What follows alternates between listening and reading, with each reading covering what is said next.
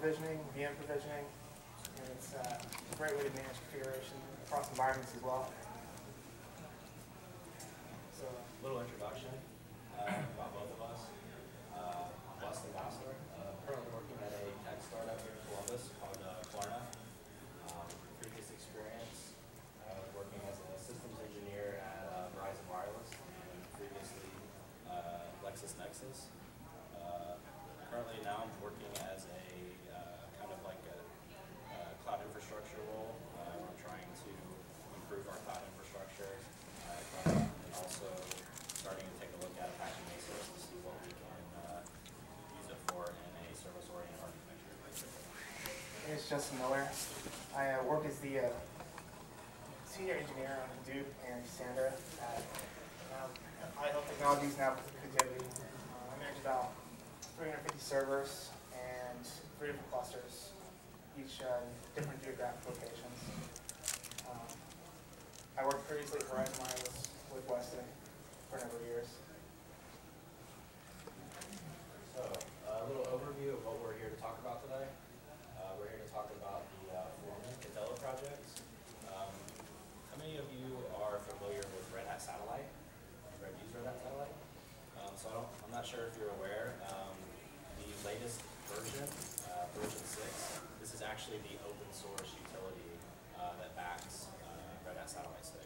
Uh, previously, version five and below was uh, Spacewalk, but now they're using uh, Foreman and Katello as the open source project for this. Um, so we're kind of break this up into like three parts. So in part one, we'll actually talk just about the Foreman project.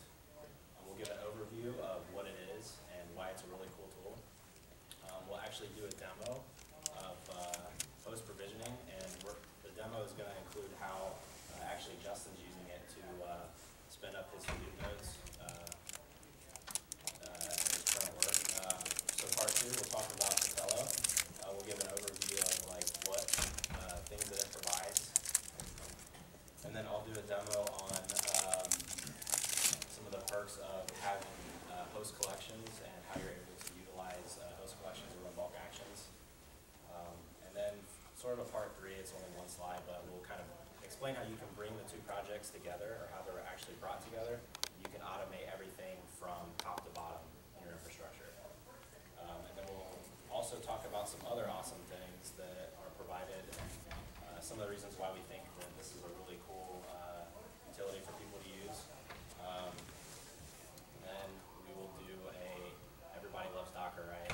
Uh, a Docker demo on how you can actually utilize it for Docker. All right, so um, what is Foreman? Foreman is an open source project. It helps uh, administrators manage servers through the lifecycle, pr- provisioning bare metal servers, provisioning on the AWS, Google, Google Compute, uh, managing configuration of those servers once they're provisioned, and uh, integration with Chef, Salt for current provisioning tools. There's even integration with Ansible for inventory. And a good, it's a good way to separate configuration by environment or by role with deep permissions in that, in that integration. So um, I use it personally for provisioning bare metal servers. That's how we got started out with the company. I was told 50 servers were going to arrive in my data center. and I needed to get them online in three days. So I was highly motivated not to mount an ISO into every single one of them. Go through the CentOS 7, you know, 6 installation process about 50 different times by myself. So I to Wes and he told me about Foreman. And I did a demo, got it online, and found a way to set it up so when new servers arrive in my data center, they're plugged in, power network, they're turned on, and they automatically set themselves up completely.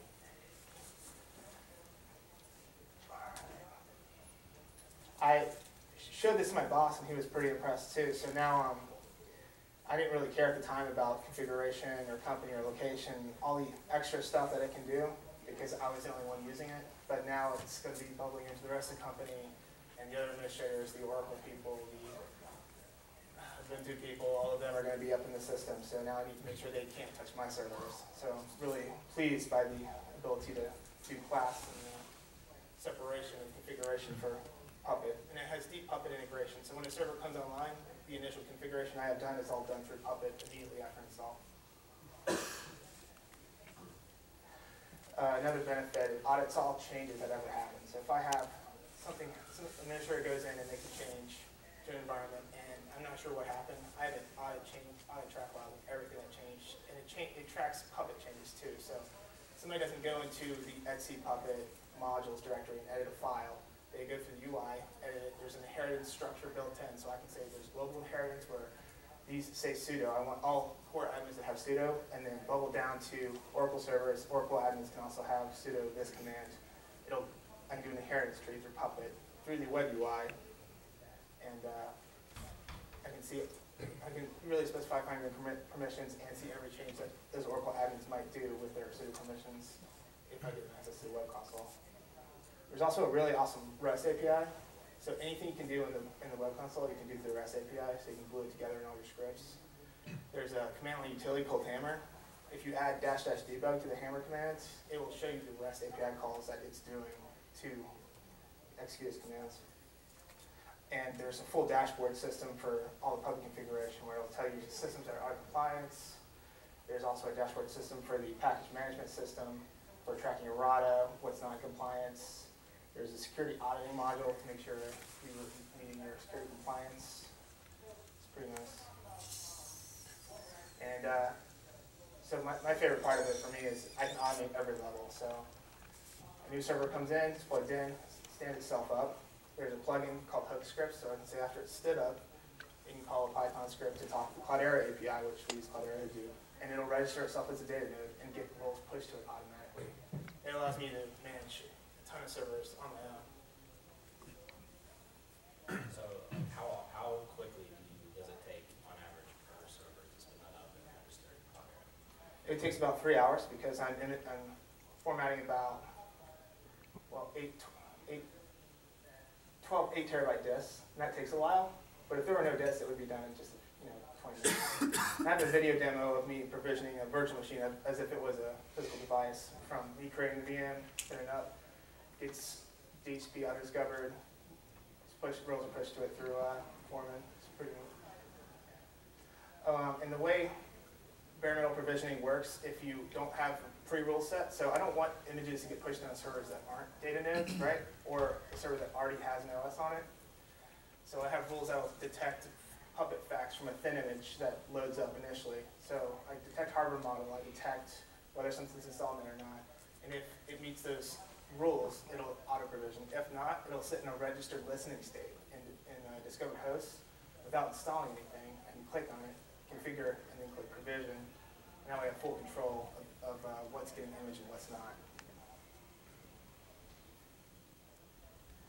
It uh, had, so the provisioning is really powerful for bare metal, but also it can talk to a number of cloud, cloud systems and hypervisor type systems. So it has deep VMware integration. I can tie in my VMware server as a compute resource, and instead of me going and creating a VM, from here I can say, give me 10 more VMs, give me 10 Oracle servers. It'll go into, get to vSphere, create the VMs, install Oracle on them, and it'll be online. The same is true for OpenStack, Google Compute, ties into EC2. I haven't messed with oVirt, but I'm sure it works fine on there too. It's really, it's really good if you have, if you're running like a hybrid cloud where you're using, uh, your internal, uh, cloud, or if you're using external cloud, like EC2 or Rackspace. Uh, and then also on top of that, if you're running an environment where you have physical stuff, uh, it's, it's kind of an all-in-one tool. I don't know of any other tools that allow for, a single tool that allow for provisioning basically across the- any type of infrastructure that exists. Oh yeah, also supports Docker as a resource, which is one of the few I've seen. One note about the, uh, the integration, if you delete a server from here, it will delete it out of VMware. We found that out when somebody deleted a production server, about two weeks ago. Confluence was deleted. Um, ano- another benefit of the architecture is they have something called smart proxies. These are geographically independent servers that'll talk back to your main Foreman server. That is um, it'll mirror all repos. So we have one in each geographic site. All the packages we need to push over are automatically mirrored over, and when things need to install or update, they pull from that local local server instead of going across the WAN. Um, it does also management of DHCP, um, DNS. DHCP is how it pushes out images for PXE using TFTP. Um, there's a nice UI you can install to manage DHCP if you want to. You can also talk to Microsoft DHCP servers as an interim. So we already had some Microsoft DHCP servers, so I had to do a pass through for DHCP and DNS for my for my servers so they can get imaged. Um, Yeah, this will also allow for cross-site, so if you have, uh, your foreman server in one data center, it will better communicate in another data center. So it, it helps it better communicate cross sites. Oh, and uh, one note about security, so the way stuff gets registered in the Puppet, it's orchestrated by Foreman, so it'll install certificates when it registers. So the only way something can talk to the Foreman server is if it's got its certificate already authenticated and had certs pushed to it. So it's not like anything can just log in and start pulling all your Puppet code or Puppet modules down to show you your configuration.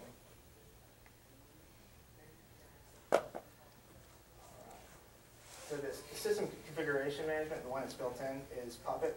I initially wanted to use Ansible more because I was familiar with it, but I have since got more on board with Puppet. The, uh, the benefit is there's a ton of modules for Puppet. It's easy to, that whole class inheritance structure is really nice, and the other system administrators I worked with were already aware of Puppet, so it was easy to onboard the company to it. There's also native salt integration that you can install where it does as deep integration as Puppet. The uh, Ansible integration isn't as deep. Can, Ansible can use this as an inventory and pull facts from it. But uh, I use Ansible more for ad hoc stuff anyway. So all the, it's nice, I can just say, hey, give me all the data nodes in Atlanta, install the such a package or change one config option without having to troll through all the Puppet configuration. But Puppet configuration is nice to have too. The, the one good thing or bad thing about, uh, Foreman, whether you look the way, whichever way you look at it, it comes, uh, it relies heavily on Puppet for like monitoring and and gathering system packs and stuff like that. Um, So it's, it's already pre-installed straight out of the box. And uh, when I mentioned it, something will sit in the listening state if it's not, doesn't have provisioning rules listed. What it will do is load up a CentOS 7 thin image with Puppet installed over, over TFTP, and it'll push all of its facts about the host into Foreman. So that's how it knows what your model is. It knows everything about that piece of hardware that Puppet would know about. And you can click in your discovered host and review those facts and use that to make decisions. Like, I have rules based on VLAN it comes up on and model which site. That's how it knows which site it's on, or if it's a data node or not. Sure, um, so the way you control which OS is installed, which Puppet server it registers with, and, um, even access control and Puppet configuration is done through something called host groups. Host groups can be subgroups of other host groups, so you can do multiple inheritance. You can have a host group be assigned automatically with the discovery rules for bare metal provisioning. If you're using, if, if- if you're not pulling and you're pushing, aka you're talking to VMware or EC2, you can have that be predetermined by uh, host groups as well. So where you choose your host group ahead of time and push, and that's how it knows what to do. Um, And then there's ability to use, to assign activation keys within a host group. So an activation key comes, comes in later when we talk about package management and content hosts. That's how all your YARN repositories are managed, which package you want to assign where, lifecycle management. And that's more the Katello piece. So that's where Foreman and Katello kind of start to come together. It's a very key, uh, piece of automating your entire, your entire OS deployment and, you know, getting it registered with the right Puppet classes and, uh, assigning to correct resources, compute resources. And I mentioned, we mentioned earlier that you can see all your Puppet information on a on front dashboard, see which nodes are in compliance. Um, There's pretty graphs. It'll give you a history of all changes for, per host if you want. Uh, There is one thing you, you will probably want to do. I had to set the cron task that runs every thirty days to clear out old Puppet reports, because if you don't do that, your server's gonna get really slow. I found out after my server got really slow. Um, it ties into LDAP for authentication, so we use Active Directory to manage all authentication in the company, so I can just have AD groups set up for each each different environment, and that's how people get added. I don't have to worry about adding users. That's when they get hired, they're put in their AD groups, HR handles all that, and all their access is not my problem, because I don't want to spend all day ma- managing the server either. that you can base the user management on uh, roles. So basically, if he and I work on separate teams, he could keep my team out of ma- uh, touching his foreman stuff, and I could also keep his team out of uh, accidentally, you know, doing something with my nodes. And, which I, I think is really important, because I mean, just last week, we had one of our AIX admins go in and edit a Puppet configuration that she added one of our developers' root key to all, all her servers. And, uh, that would have really upset me if it got onto my data nodes. PHI compliance. So we mentioned smart proxies. Here's kind of a good over, overview of the architecture. Smart proxies manage things like DNS, DHCP, local package management, um, each one's a Puppet CA, but it's a transparent Puppet CA. It'll mirror the foreman server, and local, local nodes will automatically talk to that local Puppet CA. And that's even nice, like if you were to lose communication between data centers, you still have your Puppet CA there. You could technically log in and edit Puppet files yourself in an emergency if you need to change some configuration, but I would highly recommend not doing that if you can help it. So we're gonna show you a video demo of what bare metal provisioning looks like. Did this last night.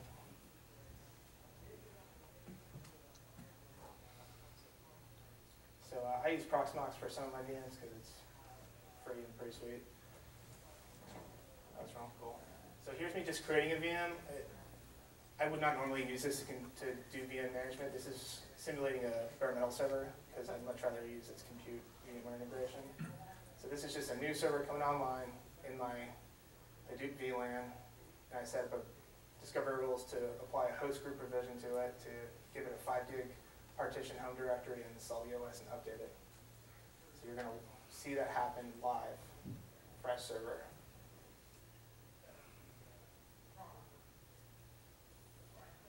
Because I didn't believe it till I saw you there. So this is like as if you just install a server in one of your data centers and you just power it on, right? It's the the equivalent of what you just did. So um, the form of discovery PXE image pushed out over DHCP. I talked about a thin image getting loaded, so that's happening right now. It's a CentOS 7 thin image. It'll start to discover all the facts, push them into Foreman. Foreman will see those facts and make a decision, push it back to the thin image, and you'll see it reboot again and receive a new image and start installing. It moves pretty quick.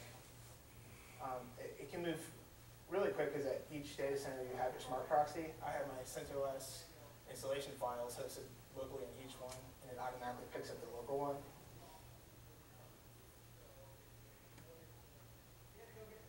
The, uh, the plugin that lets me do this auto provisioning is called Foreman Discovery.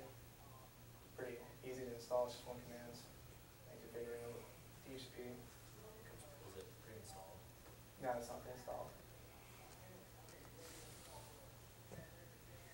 Now, if you don't want to do auto discovery and you want to go in manually and put in a MAC address and map it, then you don't need the plugin. But my whole driver was to not have to do the MAC address thing because I had a uh, had a provisioning system already. What was it called? But it required me to go in and it was Kickstart. I forget what it's called. I had to go in and map MAC addresses manually, and it would have taken forever to get all the MAC addresses. Oh, uh, network configuration. So you can use DHCP, which is easy, but I can't use DHCP in my, for my data net. So I can do IP pools, it's where the IPs that are assigned out of that pool in Foreman. Have to go grab one of the available IPs and configure statically on the net that IP address. At this point, does it know what the roles and people in the, the each one? Yeah, it does. And that was master host groups and discovery rules. Yeah, that's, that's like the, the beauty of having host groups, it's already predefined, and it knows from the discovery rules which host group to pull from. And that's all discovery rules do. You set a list of facts equals whatever, and then the host, assign the host group. So how do you, how did you, I, I might have missed when you mentioned it, how do you, how do you tell it that it's gonna be a, a report in this case? Oh, in this case, it's based on model of the hardware, so I, Ah, okay, and VLAN.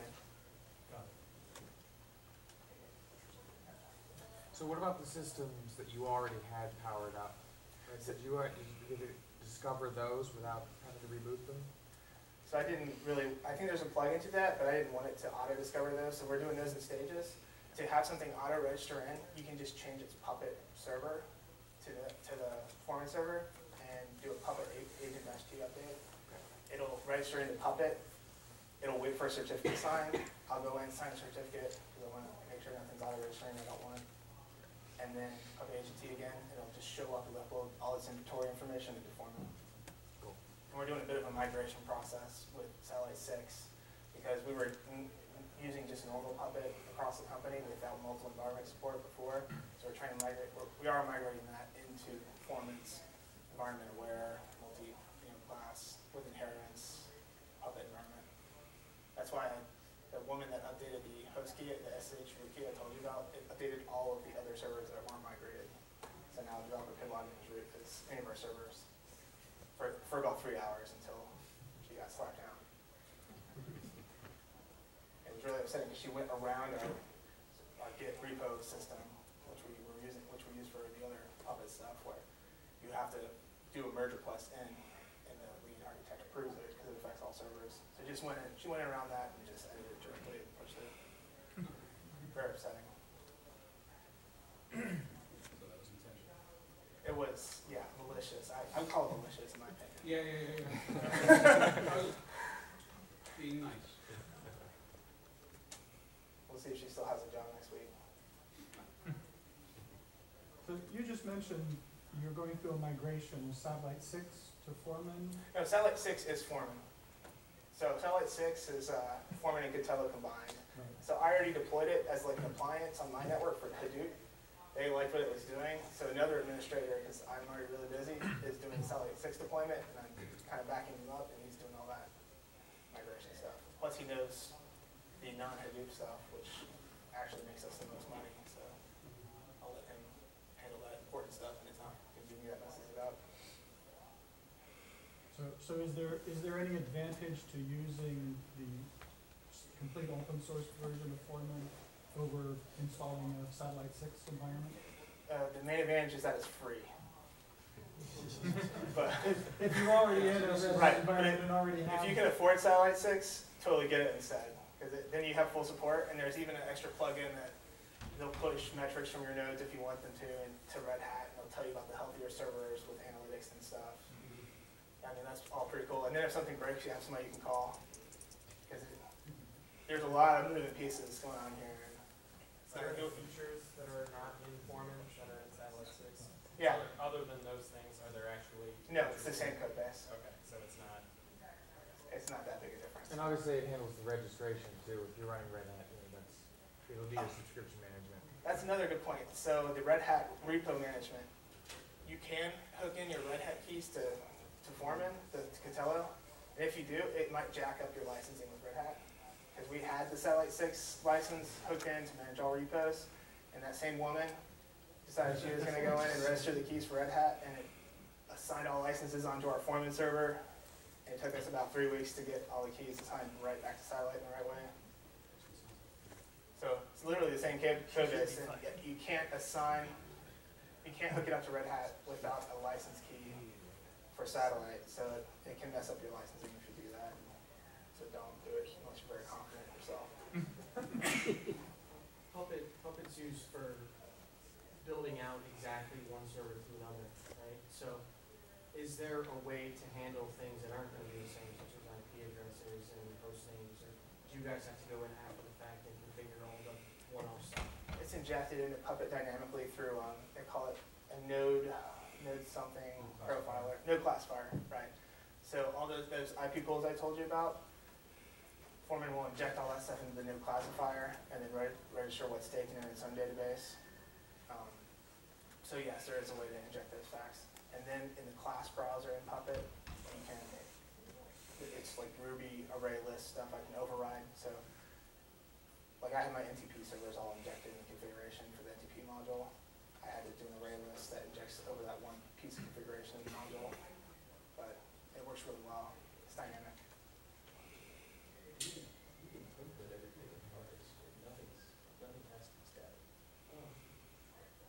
And the new classifier thing is really cool. Like I can hit, so if I'm having an issue with like a kickstart, I can hit a site and it'll dynamically generate the kickstart on my static page for me to look at what was happening, so I can troubleshoot. Because there's like five different pieces that come into generating the Kickstarter file. And I can do the same thing with the node classifier. I can go directly on the foreman server, hit the node classifier, pass in everything, and it'll tell me all the puppet configuration that would be able to apply. And do you have to have a specific VLAN for this, or does it know that, hey, it's a blank system coming up? and It knows to- based do it, and any systems that already are provisioned, you don't touch them? right, it, it knows based off the rules I set.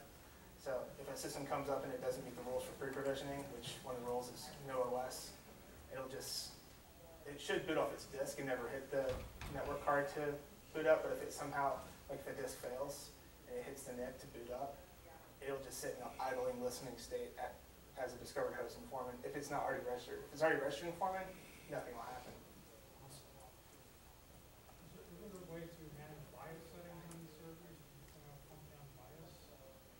So um, for my servers, I use Supermicros. There's an IPMI config command line tool. It's awesome. So I'll wait till the OS is installed, distribute the IPMI config tool using Puppet. Then I'll use Ansible to do ad hoc commands over SSH. But I could probably use Puppet too. I just, you know, I like to see it happen right away. So as you can see, our host is fully online. Um, the host name, you can set the patterns based off, so that's, that's a little bit of a challenge. So I do patterns based off MAC address on the initial host name, and I eventually go back and change it, just because I'm trying to keep track of where my nodes are, so I'll put the rack name in there. Because when I bring fifty servers online, I don't, as far as when auto provision happenings, I don't really know where they are, because they're all in the same VLAN.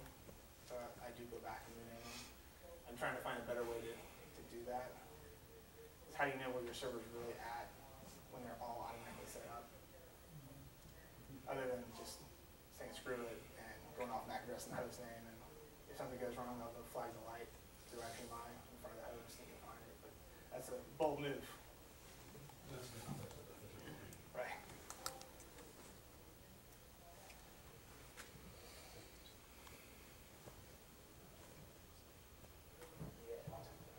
Yeah, so the showed would be for like how you would do it uh, for like your bare metal server. So there, there is a little bit of interaction there, basically, you know, touching the server and turning it on. That's, not a whole lot of interaction. Um, But Foreman does support what's called unattended installation uh, for uh, oVirt, RHEV, uh, and VMware. So basically, I could, no, not yet Okay, in the future OpenShift as well. But uh, so basically, unattended installation meaning that I can log into Foreman and say, hey, I want to add it. I want to spin up a new uh, host. Uh, I select the, the VMware uh, compute resource. I can assign it the resources from there, and it will automatically create the VMs inside of either oVirt VMware, wherever uh, with the unattended installation. So- and delete them. and delete them. Be very careful, because if you delete it here, you're going to. You can turn that off, uh, yeah, so that, all it is is a few button clicks inside of Foreman, and it will actually handle, uh, you know, bringing up the actual VM inside of oVirt RHEV and VMware. And also, the, uh, the Katello documentation is really horrible, so if you have a Red Hat account, I highly recommend using the Red Hat Satellite Six documentation, because it directly applies. You have to have any kind of plugins for VMware or oVirt or anything that just natively works? Natively works. So all you need is the, uh, for oVirt and RHEV, you just need the API link. Obviously with the, uh, you know, some sort of admin username and password. Um, and with uh, VMware, all you need is the. uh, over- vSphere. Yeah, or V, sorry, vSphere admin account, when you set up your compute resource. Oh, and from what the guy at work was saying, he's got more into the VMware stuff. You can do, you don't have to use like the root account in VMware. You can do like a lower account per mm-hmm. environment so that each, I think you can do it per area too, per like class too. That way people that shouldn't be creating VMs in certain environments can, if that's a concern, Yeah, which you is just definitely is for us. Enough privileges, I think, to power on the VM, basically, and create a VM. Okay, so I will talk about uh, the Katello portion of uh, this project. Uh, So prior to Satellite Six, uh, Katello and Foreman were actually two separate projects. They, you could do a single installation of Katello, you could do a single installation of Foreman. Um, until Satellite Six came along, they decided to actually add, uh, Katello as a plugin into Foreman, so that they are actually now, uh, one project.